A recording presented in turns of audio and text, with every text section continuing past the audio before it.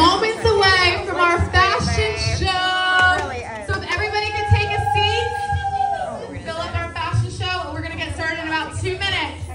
My mama told me when I was young, we're all born superstars. She rolled my hair, put my lipstick on, in a glass of her boudoir.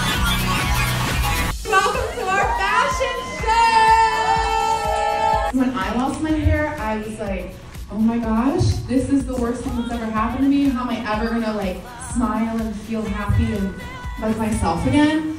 And like this is literally the reason that I'm okay today. The way that I feel like so supported and seen day to day is like literally what life's all about is to feel understood and seen and related to by other people. So thanks for being a part of my mission. Keep on trucking because these girls are looking up to us and seeing that we're thriving. I just feel like everyone deserves an opportunity to walk down a red carpet and strut their stuff and feel confident and beautiful and empowered. So that's exactly what we're gonna do.